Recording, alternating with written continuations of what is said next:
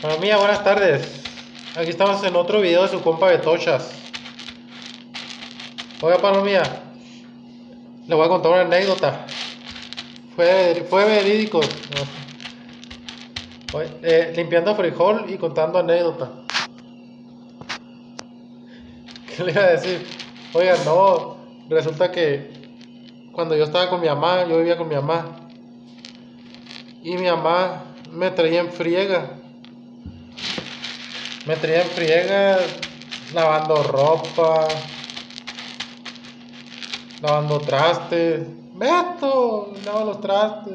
Beto, lava la ropa. No, hombre, hasta eso que en eso sí. Pues por eso aprendimos todo, pues a lavar ropa, a lavar trastes. A todo aprendimos. A una que otra comida también sé hacer. De todo un poco. Mi carnal y yo. Somos hombres, pero de todo sabemos hacer. Ah, pues resulta que yo dije, ya estoy harto de que mi mamá me ande, me ande mande y mande para todo.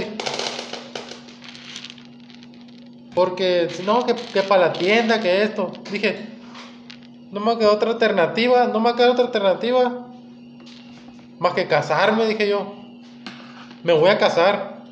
Para, dije, voy ya teniendo vieja, se supone que ya te tienen que lavar. Te tienen que lavar los trastes, la ropa, todo. Dije, eso voy a hacer, me voy a casar.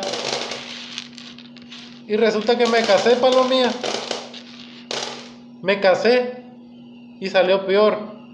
Porque ahora lavo el doble, pues. Lavo más ropa y lavo más trastes. o sea que valió madre. O sea que es el consejo que les doy a los que se piensan casar. No se casen, palomía. Así quédense mejor. No, mentira, cásense si quieren. Cásense y, pues ahí llévense la chilo. Ahí, ahí le va ese consejo, palomía.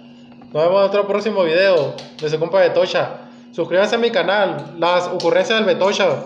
Ahí les encargo. Dios lo bendiga, mi gente.